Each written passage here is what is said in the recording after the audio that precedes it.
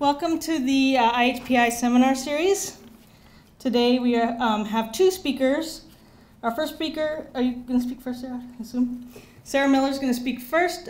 Um, Professor Miller has a PhD in economics um, from the University of Illinois.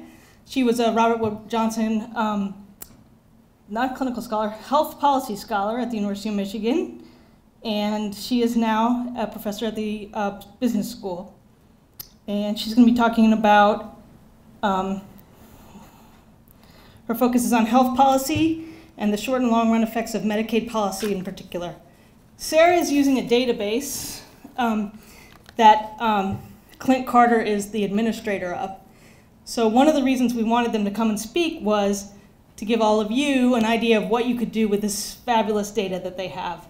So after Sarah's presented her research, uh, Mr. Carter is going to come up and present some of the details of what's available for other research as well. Thank you.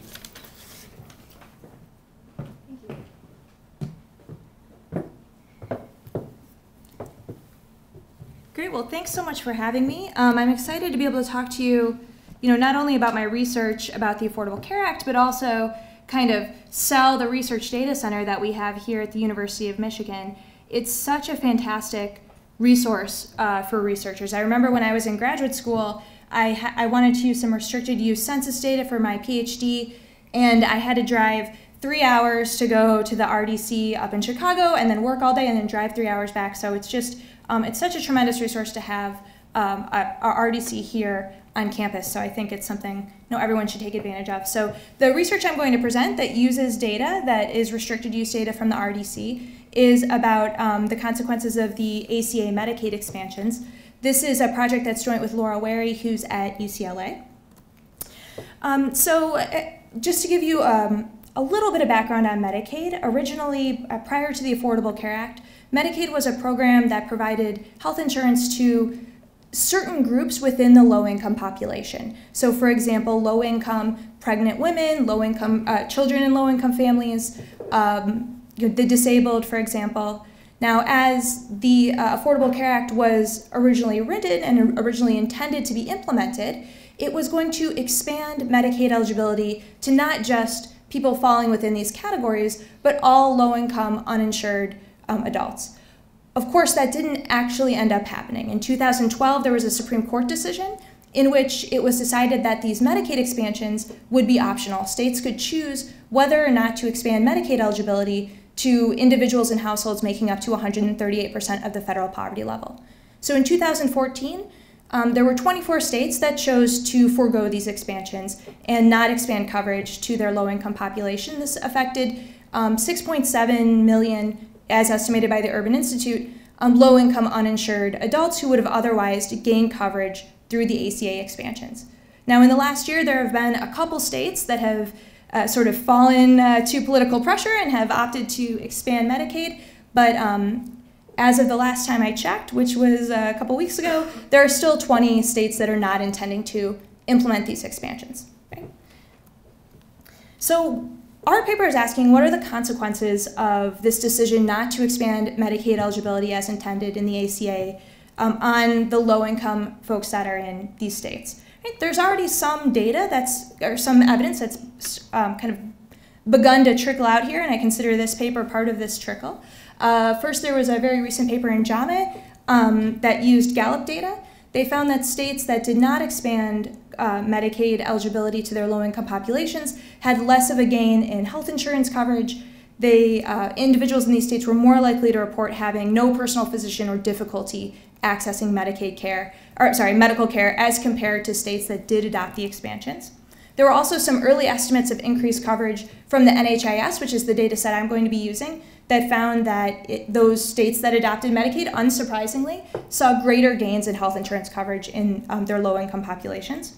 And of course, there's lots of existing evidence on what's going on with Medicaid. What does Medicaid do? So, I mean, I think the Oregon Health Insurance Experiment is one example, but perhaps the most prominent example of um, looking at an expansion besides the Affordable Care Act and trying to figure out, you know, what is Medicaid going to do? And of course, they found greater utilization, greater financial protection. Of course, you have to wonder the population in Oregon looks a lot different than the population in the rest of the United States. And so you might be uh, curious if the results in Oregon are going to kind of immediately apply to all states in, um, under the ACA.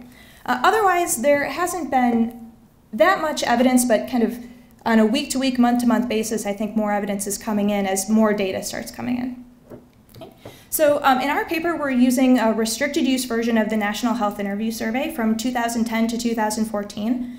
Uh, and we're going to look at how these Medicaid expansions affected coverage, access, utilization, and self-reported health among um, the low-income population in the states that did and did not choose to expand Medicaid. So a few advantages of using this data. First of all, um, National Health Interview Survey is a very high quality federal survey has a very high response rate, asks a very broad set of questions. So greater than 75% response rate compared to, for example, the Gallup data, something in the 5 to 7% response rate. And they also ask a large set of questions on topics that we might be interested in, that we might think that health insurance is going to be affecting. So just to give you um, a quick summary of our results, just in case I, I run out of time here. So um, consistent with some of the previous research, but kind of a bit larger effects than have been found previously, we find that states that adopted the Medicaid expansion experienced much greater gains in health insurance coverage, about 8 percentage point. It's about a 35% greater increase in coverage as a result. Um, as you would expect, this is largely in uh, increase in Medicaid coverage, right? About an almost 10 per percentage point increase in Medicaid coverage in the states that adopted the expansions.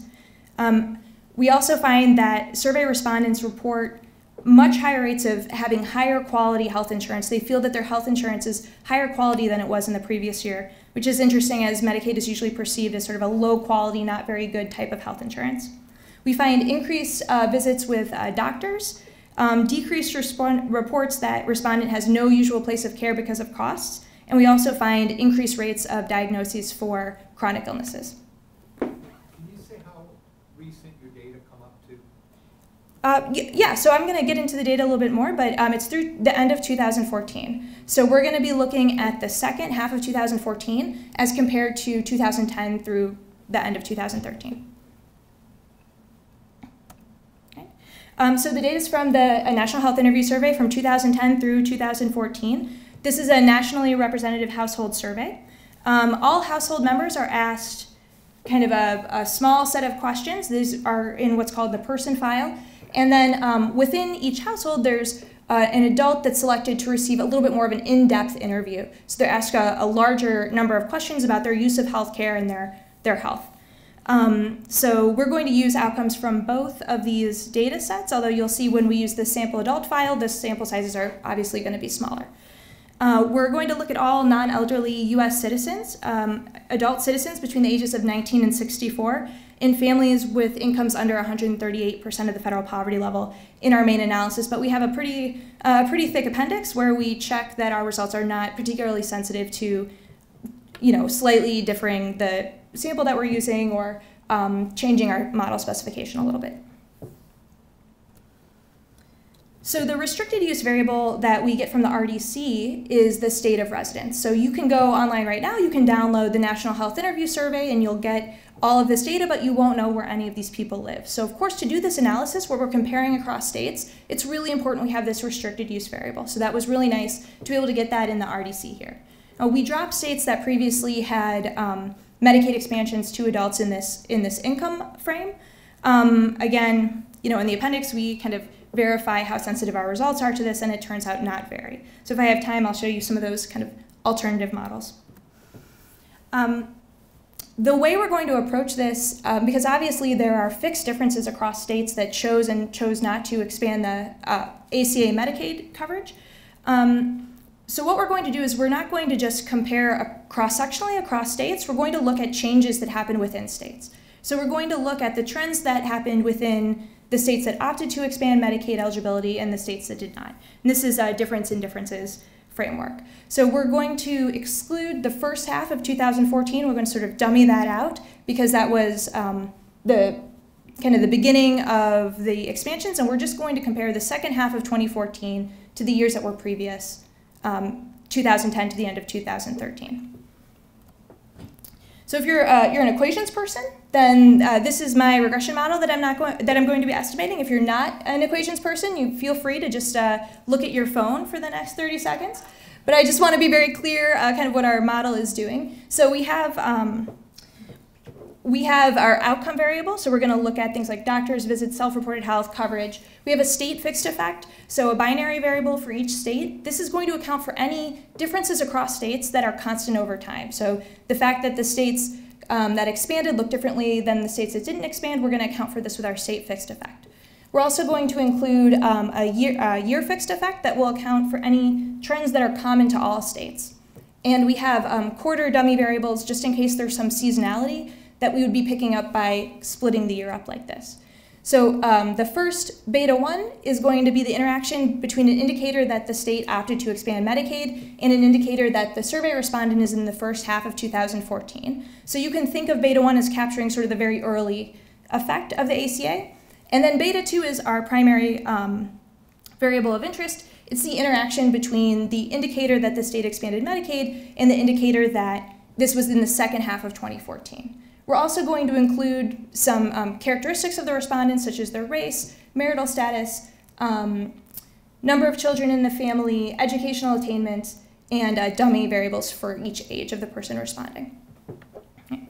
And as I mentioned, beta 2 is going to be the main uh, effect of interest. And that's going to capture how different the change was for the expansion versus the non expansion states over this period from pre ACA to after ACA. So our underlying assumption in this model is that in the absence of the Affordable Care Act, these states would have been on a similar trend. And so we can use the trend that we observe in the non-expansion states to give us an idea of what the trend would have been in the expansion states. Now, of course, that's a much more believable assumption if prior to the ACA, it looks like they're following about the same trend, right? So here I'm going to show you um, the results, but at the top is going to be a figure that shows just the unadjusted um, you know, whatever the dependent variable is. So here's a percent without uh, um, percent without insurance coverage in the ACA states that we're expanding, which is the um, the line that has the black filled in dot versus the non-expansion states, which is the kind of open triangle, right? And so um, the top line there is the uh, non-expansion states, and the bottom is the expansion states.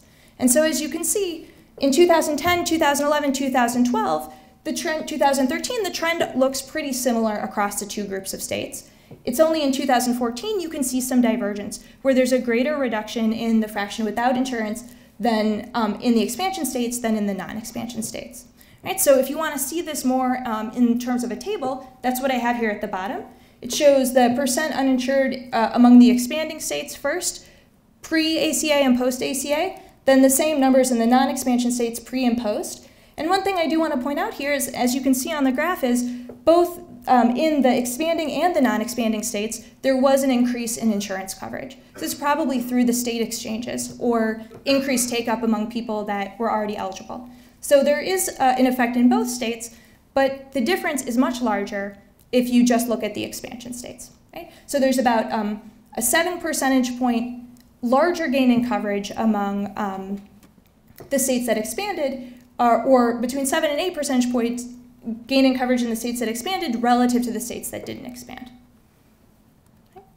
So the next outcome we look at is the fraction that have Medicaid coverage.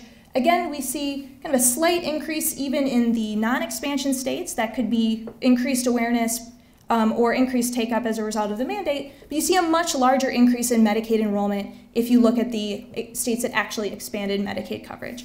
So there's between an 8 and a 10 percentage point increase in Medicaid enrollment in the expansion states relative to the non-expansion states. Um, the next question that we look at is we, the survey respondents are asked, you know, has your health insurance, the quality of your health insurance improved relative to the last year? Um, here we see very similar trends prior to the Affordable Care Act, and then a much larger increase in those reporting that they have better health insurance this year relative to a year ago in the states that opted to expand Medicaid coverage. Right, so you can see between 6 and 8.6 um, percentage point in relative improvement in the states that ch chose to expand Medicaid. um, the next, so the next set of outcomes are going to look at utilization. So in this figure, I'm plotting the, um, the fraction of people that saw or talked to a general doctor in the last year. And uh, what you can see is there's a relative increase in states that expanded Medicaid of between five and uh, four and a half and five and a half percentage points. Right, so it looks like states that expanded Medicaid, people in low-income households are going to the doctor more. They're visiting the doctor more often. When we look at specialist visits, this is something um, we were particularly interested in as it's kind of thought to be one big barrier that low-income populations face is getting in to see a specialist. We see uh, some mixed evidence about um, the effect of Medicaid. In both the uh, unadjusted for covariates and adjusted, for covariates, we see a relative increase of between 3 and 3.5 percentage points, although our confidence intervals are a bit larger in the adjusted model, and so we can't reject that um, that effect is different from zero. Um, so I would say at least suggestive evidence that there's also an increase in visits with a specialist. For hospitalizations, we don't find any relative increase that's statistically significant in the expansion versus the non-expansion states. Um, this is uh, a little bit in contrast to what they saw in the Oregon health insurance experiment, where they saw kind of very large increases in hospitalizations. However, um, we do note that we do see positive point estimates, and we have pretty wide confidence intervals that would include treatment effects that would be similar to those found in um, Oregon health insurance experiment. So this could be one area where having a relatively limited post-implementation period might be hurting us in terms of power. Um, similarly, emergency department visits, this was also an area where they found kind of large increases in the Oregon Medicaid experiment. We're not finding large increases here, um, but again, we have pretty large confidence intervals, so that would include you know, effect sizes in the neighborhood of what they saw in Oregon. Um, so the next set of outcomes we look at relate to access. So here um, are reports that individuals said that they had to delay care due to costs sometime in the last 12 months. Um, and we don't find a statistically significant effect here. We were a little bit surprised since this was kind of one thing where we would expect to see uh, a large effect. But again, you know, as I said, we're looking at a relatively short period after the ACA has been implemented, so perhaps some of these effects will materialize in another one or two years. So you, you want to get access to the RDC now so you can be ready to write that follow-up paper. That was a joke. Um, Also, uh, similar results for usual source of care. We don't find any um, effects on usual source of care. If you look, the two groups seem to be trending um, you know, pretty closely together. Although one thing I would note is it does look like they're going up after the Affordable Care Act is implemented in both the expanding and the non-expanding states. So it seems like more people have a usual place of care. There's just not a differentially large increase among um, states that expanded Medicaid. Um, and then the last uh, access question, I believe, is reporting that you had no, um, no usual source of care because of costs. Here again, we find a bit mixed results. So in the adjusted model, we find a significant reduction in people saying, well, I, I wanted to have a usual source of care, but I couldn't because, um, because I didn't have insurance or it was too expensive. Um, but it's not statistically significant in the unadjusted model. So our last set of outcomes that we look at have to do with uh, being diagnosed for chronic illnesses. This is one thing people speculated could be a source of improved health for individuals if they had undiagnosed chronic illnesses. Perhaps um, expanding Medicaid coverage could help their long term health by increasing the rates of diagnosis. Here we look at um, reports that they were diagnosed with diabetes. We find significant relative increases in um, the expansion states relative to the non expansion states of about three percentage points to four and a half percentage points. We look at diagnosis with uh, hypertension. Again, we find positive point estimates, but our confidence intervals are pretty large, so we can't really say anything about hypertension. And then um, we have diagnosed with cholesterol. Unfortunately, I don't have a picture here because it was only asked in two years. It was asked in 2014 and it was asked in 2012. So we really only have those two pieces of data that I have in the table. But if we, um, you know, sort of have you know faith that the assumptions of the model are satisfied, we can say that there was a relative increase in, in these diagnoses. Um, so then our final set of outcomes are about self-reported health. The first is um, they asked survey respondents if their health was better than one year ago. Uh, we don't find any statistically significant effect there, but uh, um, again, positive point estimates and pretty wide confidence intervals, this could be an area for future research. Oh, uh, I, I, think that might be the only self-reported health question I have here. So uh, I think I have a few minutes left yet, so I'm just going to um, flash a couple uh, illegible big tables in front of your eyes to try to convince you that um, we did think about robustness and we did think about the sensitivity of our um, results to sample selection. So um, the first set of columns shows the adjusted difference in differences effects when we include the state unemployment rate to account for perhaps some um, contemporaneous but unrelated change in the economic climate. It doesn't seem to affect things very much. We include the early expanders in our model. It attenuates the results a little bit, which is what we expected since this is a group that is not really experiencing as big of a gain in coverage. But overall, we see kind of a very similar pattern, increased utilization, um, decreased uh, reports of not having health insurance coverage.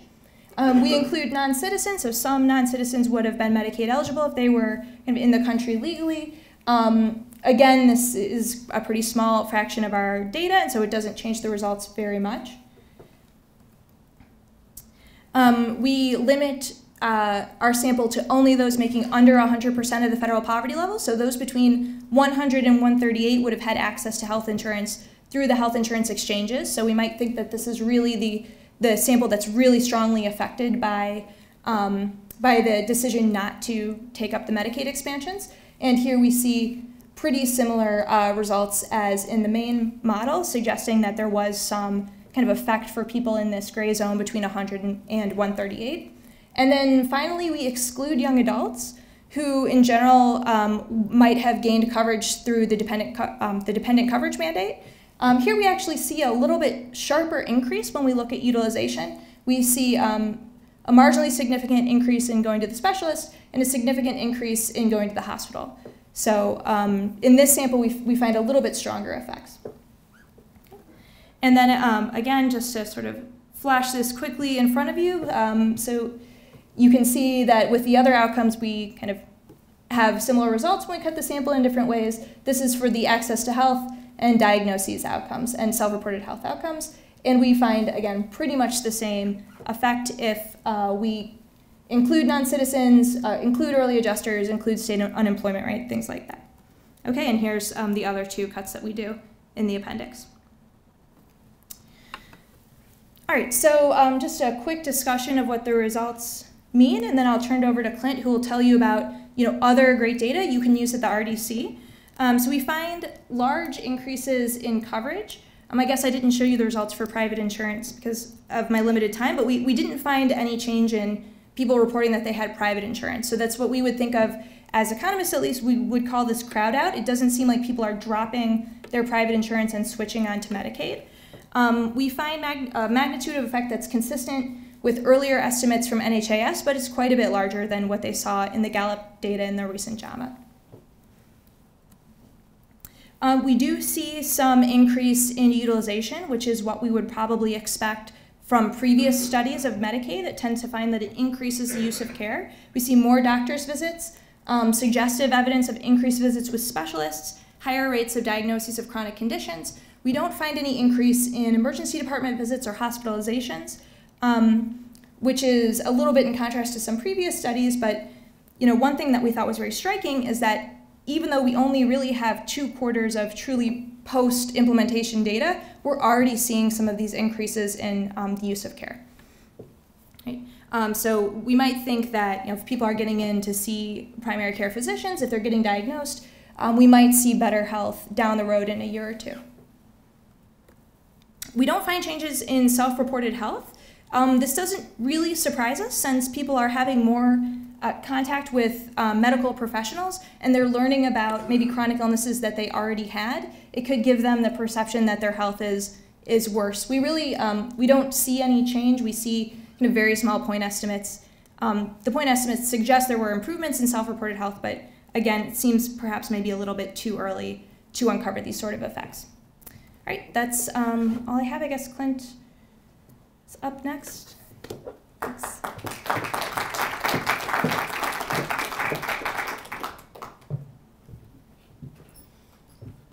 Okay, so I'm Clint Carter. I am the administrator of the Michigan Research Data Center. We are part of the Federal Statistic Research Data Centers. Uh, we're sponsored by the U.S. Census Bureau and the University of Michigan. And we house a lot of data. So I'm going to briefly introduce you to the details of an RDC, go over the data that we house, and provide some information on how you can access that data. So what is an RDC? It's a secure computing environment where qualified researchers can uh, work on approved projects accessing non-public census and other federal data. We are currently located in the Institute for Social Research, in the basement actually, in a brand new lab where we moved last year, so it's a beautiful place. Um, we even, Maggie, the director, painted sky on the ceiling, so it looks like you not in a basement. You can actually look up and see clouds and birds that don't move, but they're beautiful. Anyways, um, so let's see. So why would you want to use our data?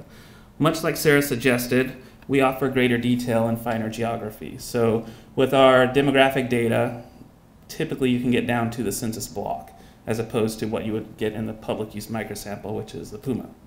Um, so that's one reason. Another reason would be that you can access data sets that we, for which there is no public version. That's typical of the business data sets that we house. Um, and then you can link to our data. So you can bring in external data that might have PII information on it and create one-to-one link, individual level links with some of our restricted data. So for example, with the PUMS data versus RDC, RDC has lower levels of geography, no top coding, larger samples, and greater detail in variables. For example, we would have more race categories than you would find in the public use version. You can also get place of birth, uh, we offer some write-in responses, and with the health data, uh, there are disease codes. Can you tell us what you mean by top coding? So top coding would be for some of the with the with the decennial or ACS data, they don't show I don't know the percentile, but the top percentage of incomes. So those are gone because you wouldn't you would be able to identify. Uh, not me, but someone that makes a lot more than me, you would be able to identify that person. Uh, question? Yes, place of birth is the state? It depends on the, the data set. We have Numident data, which actually offers the, I think it's a city, and maybe even slo- lower than that. I, Sarah's on the project that's using that, I believe, in County and county and city, place of birth. Yeah. So it's a, that's a fairly new data set that we have in the lab. Um, and we have a project linking it to ACS and looking at the war on poverty and where people were born and looking at outcomes. Do you have country of birth if they're outside? We do have country of birth also. So some of the household data sets that we have would be the decennial from 1960 through 2010. We have the ACS, which is the uh, basically it's the new long form version of the decennial, and that's from 1996 through 2011. We have the current population survey, March and December supplements. However, we are working on getting new supplements. I think we now have the tobacco use supplement available. Uh, our website offers more detail on the, the new CPS data sets that we have. Uh, some additional data sets would be the Survey of Income and Program Participation, American Housing Survey, which is a unique survey that actually surveys houses. So it not, does not look at, well, the, the, the people residing in the house answer the survey, but if five years from now a new family is in that house, they answer the survey. So it's basically the house that's being surveyed. Uh, we have National Crime Victimization Survey, National Survey of College Graduates, the NLMS, the NLS, and we have Social Security administrative administrative data, as well as housing and urban development data. One of the unique data sets that we have in, in our lab was the longitudinal employer household data set. So that is a combination of household data and business data where you can get information on the employer, all the characteristics of the employer, and all of the employer's employees and their characteristics, such as race, uh, sex, age. Um, I think we have some imputed education variables and salary.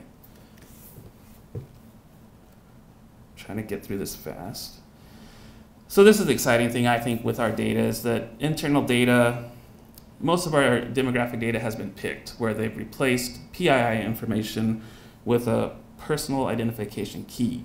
So if you have external data at the individual level, you can bring that into our lab and merge it with our data uh, at the individual level, which is pretty unique. Another thing that you can do with most of our data sets is link at the geographic level. Um, and this is true for firm level data as well, where if you're looking at business firms, you can bring that in, link it to our firm identifiers, and also perform analysis on the businesses. Business data, we could spend all day about talking about business data because we have a lot of data sets. Um, economic censuses, the longitudinal business database, quarterly financial report, SBO, MEPS IC, annual capital expenditure survey, BRDIS. Really, if you want to know about businesses, we have some kind of data that will help you understand it. And if you are interested in that sort of research, I invite you to meet with me and we can go over it in detail. We even have more, so let me get through these. So how do you access these data? First, you have to, yes, sir? Uh, A couple slides ago, you said MEPS uh, insurance component, Yes. but I remember uh, a decade ago, there was a merger underway with MEPS um, Household? household and NHI NHIS. Do you have something like that in-house? That? Not that I'm aware of. Actually, I think we do. I'm sorry. I think we do have an NCHS data set that includes MEPS also. Yeah. I have a slide later on that discusses the NCHS data sets that are available. I don't think that one's listed, but I do believe I've seen that. So you identify the data you need, talk to me, talk to uh, the executive director, Maggie Levenstein. Uh, we'll set up a meeting with you, ask you to write a brief two-page summary of, or not two-page, two-paragraph summary of what you would like to research, and we will go over the data that's available, suggest data that you might not be aware of, and uh, send you away, away with a template to write a proposal for the Census Bureau.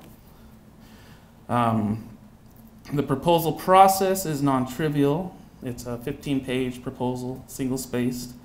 Uh, one unique thing about our proposals is that your research has to benefit the Census Bureau.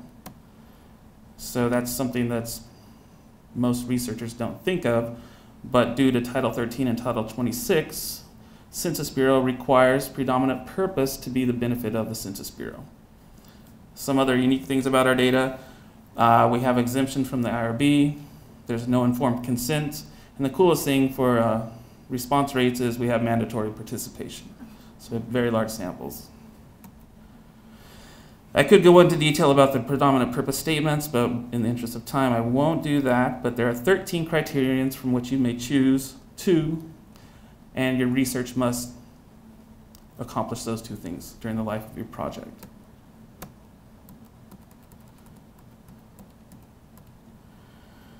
Uh, notes about census proposals, please plan ahead. Uh, you typically take six to six months to a year to get access.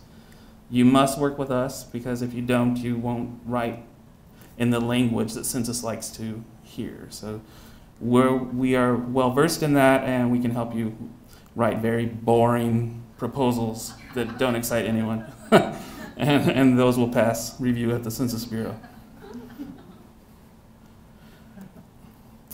You also will be required to obtain special sworn status, which is a security clearance. Um, for the past seven years, since the Census Security Department will want to know what you've done, where you've worked, where you've lived, how many times you've entered and exited the country.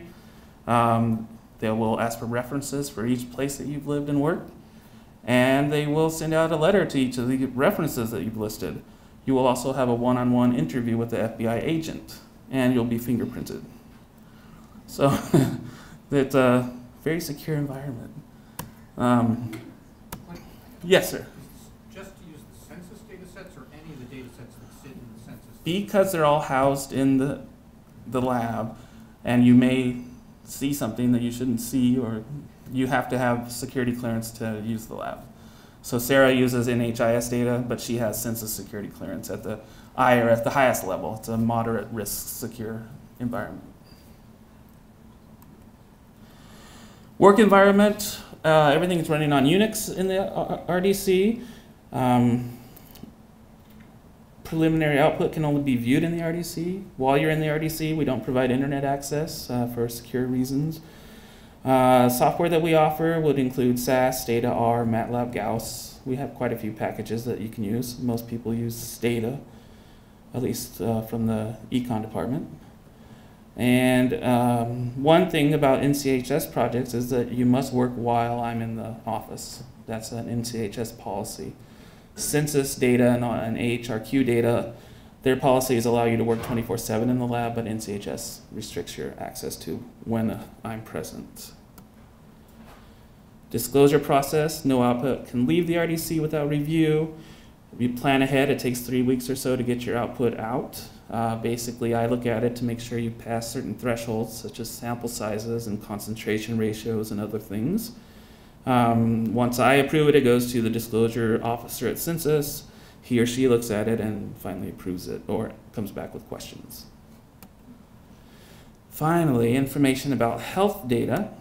So the avail available data that we have for health would include the MEPS household component from the AHRQ agency. Very easy to get access to. They're, they're a super cool agency. Uh, they also get their output, your results back to you within the typically the same day. So super good. Um, and then National Center for Health Statistics, and this is not an all-encompassing list, but it's the NHIS, NHANES. I don't know if you're familiar with NHANES, but they do some pretty neat uh, physical exams of everybody, blood tests and everything. Small sample because of the detail that goes into that survey, but it's, it has a lot of information. Survey of Family Growth, National Vital Statistics System, National Healthcare Surveys. You can see all of those. And then how to contact me. So I've left some brochures at the back table. I handed out some brochures to people who were here earlier. Uh, if you have interest in using our data, I welcome you to contact me and we can start talking about it. And uh, any questions, I guess, for Sarah or me? Sure. I want to just talk about the, the process from a researcher standpoint of getting access. Um, so yeah, I found that getting special sworn status is a bit time consuming. Um, you definitely want to budget for that, but it's not uh, it's not that difficult. Like you you know we're all used to writing kind of proposals and things, and so they just want to know that you're um, using the data appropriately. Um, it takes a long time to get approval. Like so, for my projects, I've usually had to do and maybe this is just me not writing the proposals well enough, but I've usually had to do at least one round of revisions based on their comments um, before it was approved. But um, I mean, I don't, I didn't, I didn't find it particularly arduous. Um, you can't remote into the RDC, which you know, if you like to work in your office, is a little inconvenient, but um, it's open 24/7 here, so you know, as long as you're not using uh, NCHS data, you can come in 24/7. Um, yeah, so I have, I mean, I have several projects at the RDC right now, and it's it's been really great, especially with the new Numident link. You can link to people's county of birth, which is really cool if you so I have a lot of projects on like long-term effects of Medicaid coverage in childhood and so being able to see where someone was born you can learn a lot about the probability that they would have had Medicaid as a kid and then you can track their fertility their um, you know employment outcomes human capital outcomes like educational attainment so it's been really cool that's my perspective mm, Thank you. Thanks. If you have a, a BA appointment, usually you have to go through that fingerprinting and background check. Is that, you have to do it again? Yes. Unfortunately, you do. I don't know why. They, the agencies don't talk to each other. And, yeah. The- The obvious, the direct lag is that these approvals and fingerprinting, but the, the research lag, if you will, is that you had to decide, hmm, I gotta get in there because I need to know this and that will give me access to that. So, uh, I guess what I'm, I'm kind of asking, but I'm kind of commending you that you already had in your head ideas to do important research so that then you could go through this process. Oh, yeah. I should I should say, or we should make clear, you only have to go through it once. So once you have the fingerprinting and everything, you're you're in the system. You have to apply to use the data again. So like I had um, NCH data for a different project, and I wanted to use it for this, so I had to go back and get approved for that. But you don't have to go through the whole rigor, rigmarole you have to go through the first time. So once you're in, as long as you keep up your trainings, you have to do like some very straightforward and not difficult trainings. Once you're online, you like click through and then they like true or false, you can steal people's identity or something. Like you do do a quiz at the end, Right. but you don't have to go through answer's the whole false, thing. Yeah. Thanks, Ben. no For example, we never hear from you again one day, we'll just know that you're squirreled into this place. Yeah, exactly. They had to disappear me or something, Right, right? I, I knew I knew too much. I knew the state right. identifiers in the NHIS. But um, yeah, once you do it once, then you can just you're kind of you're golden. What about showing that your study has value to the Census Bureau? What, the study that you presented today, was it difficult to convince them of that? Yeah, so this was NCHS, so I didn't I didn't really have to show that. But it's only if. It's only for Only census, census yeah. data. That's correct. But like my understanding from friends I know that use the census is it's it's reasonably broad. I mean, you can make a case for a lot of different things. Right. Yeah. So you have to choose two benefits. Uh, one of the benefits are the estimates of your project. So that one's done for you. The other one, uh, we try to make it to where it's something that you will need to do to complete your analyses, like if there's data cleaning that needs to be done or quality assessments of variables when you're comparing external data with internal data. That can be a benefit to the Bureau also. So really, it's not too difficult. Um, you do have to provide a technical memorandum at the end of your project detailing how you've done these, what you promised to do, uh, but that's about it. Anything else? Sorry to be a hawk but I got, I got another question about lags. When, when you try to understand some of the things that came out pejoratively disappointing, I'm thinking about these lags of these people getting coverage, finding a doctor, getting an appointment, finding something's wrong, Mhm. tick, tick, tick, tick, tick, and you're out of time, and therefore you haven't had a hospitalization or some other stuff. Yeah, I, I'm I totally uh, agree with you. So this is, I mean, this is the results I was showing you are just based on the second half of 2014. So this time next year we'll have kind of another year worth of data. In fact, I think um, some of the variables for the 2015 NHIS, uh, the um, for the first quarter of 2015 have been released already. So, um, but I don't think the state identifiers have been made available yet. But um, yeah, I mean, we, we you know we went into this project knowing this. These are the early effects. There can be effects that get bigger over time, and I th- I think it was interesting that we already saw some really strong effects on you know um, things like diagnoses and going to the doctor and um, you know at least feeling that you have better health insurance than before. Definitely.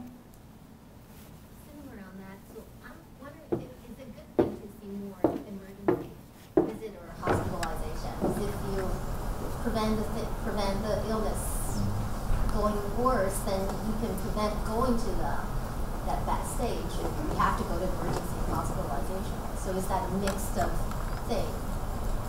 Yeah, no, I, I, I agree with you. My geography paper was on, you know, can insurance prevent emergency department visits? I was looking at the Massachusetts reform. So, I mean, I think there's a potential that there could be a reduction in emergency department visits for certain types of visits Mhm. as a result of the Medicaid expansions. But, um, you know, at this point, we're, we're just kind of seeing a big goose egg, which I think already is kind of encouraging, given that if you're familiar with what saw in the Oregon Health Insurance Experiment, we saw very dramatic increases in emergency department usage. So the fact that we're not kind of obser- observing those yet, I think is heartening.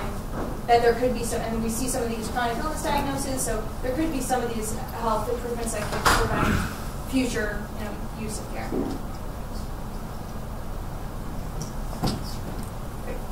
I have a question about um, some of the MEPS data that's available. So on the MEPS IC has the summary tables that come through available. I'm wondering if there's a, if there's an option where instead of diving all the way in and getting approval, if there's a way to request to get the data cut a little bit differently, get summary data without having to really dive back into microdata. Right. So there there is a way to do that. The Census Bureau has a special tabs unit. Um, I think you can find that information on census.gov, and there is a fee. I don't know what the fee is, but there is a fee to do that. But it might be worth your while instead of going through the entire process. Yeah. So, I think, I just wanted to emphasize that um, this is a resource we have at the University of Michigan that most other universities don't have. And um, I, I've worked in this secure environment before, and people travel from you know other states to come and work in this secure environment here because we have it. and here it is at our university. So it's something we really should be taking advantage of. They have an enormous amount of data uh, and very sophisticated ways of working with it, and, a- and an incredible amount of local knowledge about how to use these data sets and how to. So, some of them our investigators have developed. and um, so working in this environment is a real privilege and something that most other places don't have. Uh, and you guys can take advantage of it relatively easily compared to most other researchers who have to either travel here or get someone here to do it for them. Uh, and I'd encourage you to go ahead and get your clearance and go over and see what they have because it's really a pretty remarkable resource. And more questions we can send by email or Oh, connect you later. Thank you so much. Thank you.